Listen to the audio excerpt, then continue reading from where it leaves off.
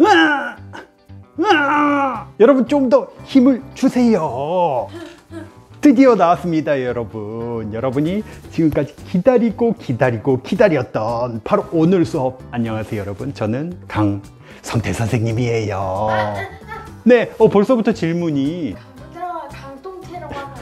아, 강동태라고 하면 안 되냐고요? 맞습니다. 선생님이 지금 여러분들이 너무 보고 싶어 가지고 기다리다 기다리다 응가가 돼 버렸어요. 아, 지금 냄새가 막 나고 있는 것 같아요. 자, 여러분. 여러분은 저처럼 응가가 되면 안 되겠죠. 그러기 위해서는 여러분, 우리 수업 시간에 수업을 열심히 잘 듣고 난 다음에 그냥 놀기만 하면 되겠어요? 안 되겠어요?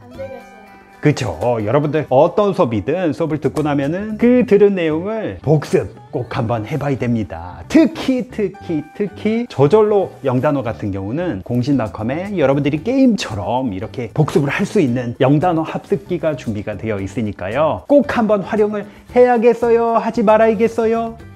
아주 훌륭한 학생들입니다. 자, 그러면 여러분, 이번 시간도 너무 재밌을 거라서, 어, 이거 뭐 갈수록 너무 재밌잖아. 이거 자꾸 냄새가 자꾸 나잖아요.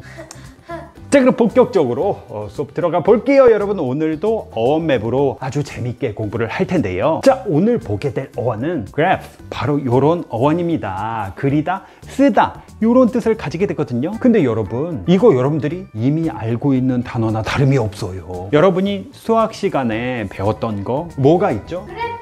맞습니다. 바로 그래프, 그래프. 이 어원 자체가 바로 단어가 된 거예요. 여러분 생각해 보세요. 지금 이걸 보니까 성태가 사과를 4개 가지고 있어요. 라마가 사과를 2개 가지고 있고 우리 붕어 친구가 사과 4개 가지고 있고 우리 지금 오로라 친구가 사과를 6개 가지고 있어요. 지금 선생님이 말한 이거를 눈에 잘 보이게 그려서 나타낸 게 뭐겠습니까? 바로바로 훌륭한 친구예요. 저 친구 상 줘야 됩니다. 지금 상, 네. 조금만 더 하는 거 지켜보고요. 자, 그래서 여러분들이 수학 시간에 배웠던 바로 그 graph, 이게 요 어원에서 나온 거고요. 여러분들이 이 단어를 알기 때문에 다음 나오는 단어들도 이제부터 너무 쉬워집니다. 자, 이 그래프에서 나온 거 한번 또 보도록 할게요. 여러분, photograph. 자, 요거는 바로 사진이란 뜻입니다. 여기서 이 photo, 이거는 빛이라는 뜻을 가지고 있는 어원이에요. 빛을 그린 거예요. 여러분, 우리가 생각해보면 사진이 맨 처음 탄생했을 때를 볼게요. 그 전에는 무조건 사진 대신 다 그려야 됐거든요. 사진을 처음 딱 사람들이 보니까 이것도 그냥 그림인 것처럼 보여졌어요. 그러다 보니까 이제 그리다라는 어원이 들어가게 된 거고요. 사진 자체가 빛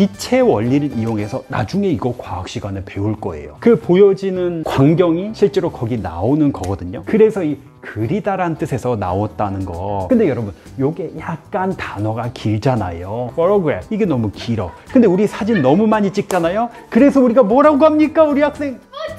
훌륭한 친구. 아, 너무 훌륭한 친구라서 춤이 막 저절로 나오고 있어요. 이건 지금 응가 댄스예요. 자, 여러분, 우리가 흔히 이제 포토라고 하는 바로 그 단어가 원래는 이 단어였던 거죠. 자, 그리고 이 그래프에서 나온 또 다른 단어, 여러분, grammar 하면은 여러분 이게 뭡니까? 이게 지금 아니 이렇게 훌륭한 책이 등장을 해줬어요. 지금 깜짝 출연을 해주었는데요. 우리나라 영문법 책 중에 1위를 찍은 바로 그 책입니다. 너무 지금 대놓고 표지가 너무 크다 이거. 어쨌든 여러분 이 문법을 grammar 이렇게 말을 하거든요. graph라는 이 어원이 gramm으로 발음이 살짝 좀 바뀐 겁니다. 근데 왜 그리다 쓰다 이게 grammar 의미가 됐을까요? 왜냐면 생각 해 보세요. 문법 자체가 뭐냐면 문장이나 문단을 쓰는 방법을 뜻하는 거죠. 그래서 쓰다라는 의미를 가진 graph에서 문법이란 단어가 나오게 된 거예요. 그냥 나온 게 아닙니다. 여러분도 잘 아시겠지만 지금 저 같은 응가도 그냥 나온 게 아니죠. 여러분 아무것도 먹지 않으면은 이런 강성태 응가가 나오겠어요? 안 나오겠어요?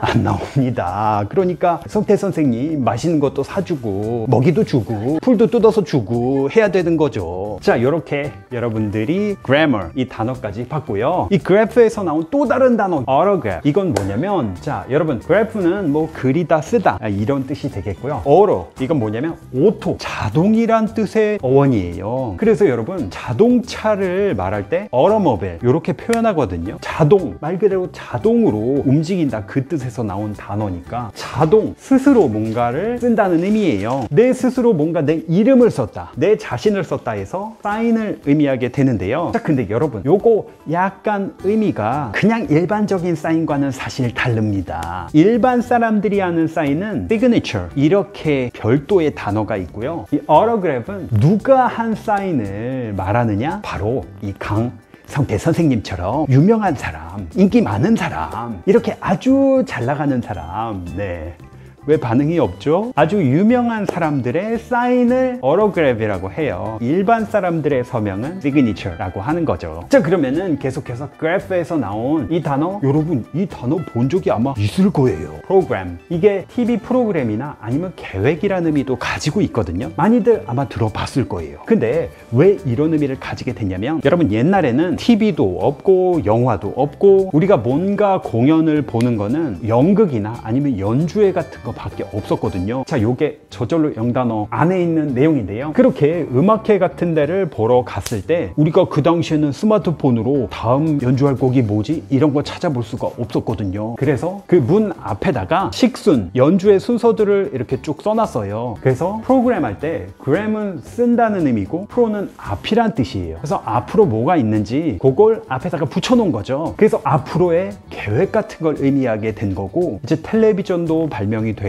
영화도 발명이 되고 하면서 그런 TV가 언제 나오는지 그런 어떤 계획도 프로그램이라고 표현하게 된 거죠. 자, 그리고 이런 단어 여러분들 보신 적이 있을 거예요. 프로그래머라는 단어인데요. 자, 프로그램이라는 그 단어에 ER이 붙었어요. 그러면 요런 게 붙으면은 이 뜻이 어떻게 되냐? 뭐뭐 하는 사람이란 뜻이 되는 겁니다. 그래서 프로그램을 만드는 사람. 그래서 그 뜻이 프로그래머가 된 겁니다. 컴퓨터 프로그램도 아나요? 우리 친구? 그 프로그램은 컴퓨터가 어떻게 작동하는지, 로봇이 어떻게 작동하는지 그 계획을 사람이 이렇게 이렇게 짜주는 겁니다. 그러면 그 로봇이 그 계획대로 움직이게 되는 거죠. 여러분들이 지금 가지고 있는 컴퓨터나 스마트폰도 다 그런 프로그래머 분들이 감사하게도 계획을 다 짜준 거예요. 그걸 우리가 잘 활용하고 있는 거죠. 자, 선생님이 벌써부터 네, 이게 제일 덥다. 지난번 붕어보다 응가가 최고 더워요.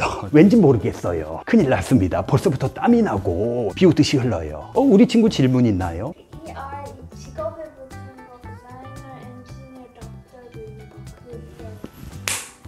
디자이너, 엔지니어. 아주 훌륭한 친구예요. 우리 친구 끝나고 선생님이 깨물어 줄게요. 자, 그래서 그래프에서 나온 또 다른 단어를 우리가 보도록 하겠습니다. 바로 biography. 자, 요 단어인데요. 이거는 여러분 바이오라는 단어를 들어보신 적이 있을 거예요. 바이오는 뭔가 생물, 생명 이런 뜻과 관련이 있습니다. 사람한테 쓰면은 어떤 인생을 뜻해요. 인생, 삶. 그래서 한 사람의 삶을 그렸다, 썼다. 여러분이 잘 알고 있는 이분이 누구시죠?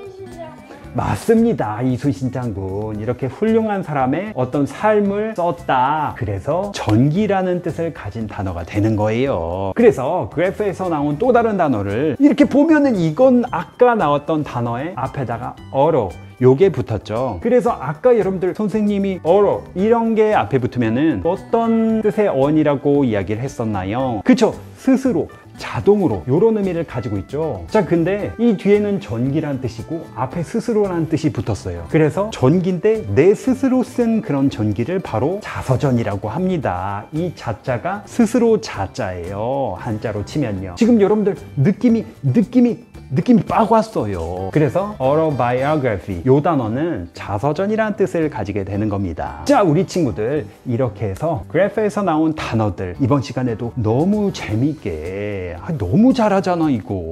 선생님이 이젠 정말 응가가 돼도 괜찮을 것 같아요. 여러분들이 너무 잘해서. 자, 여러분들 이번 시간에도 잘한 만큼 만약에 여러분들이 더 많은 단어들 좀 더 어려운 단어들도 이 샥샥샥 이 공부를 해보고 싶다 하시면 공신닷컴에 영단어 어원평 강좌가 또 따로 있거든요. 무료로 들으실 수 있으니까 습관도 만들 수 있으니까요. 그걸 또 활용해 보시면 좋을 것 같고요. 제가 처음에 뭐라고 말씀드렸죠? 여러분 공부 끝난 다음에 아무것도 안 하고 그냥 놀기만 하면 뭐 된다고요? 뭐 된다고요?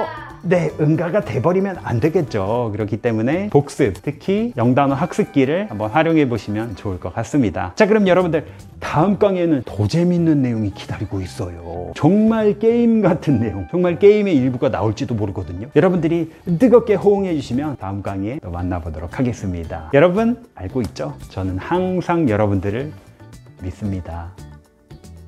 어우, 진짜. 이건 정말 아, 응가가 되는 게 이렇게 힘들다니.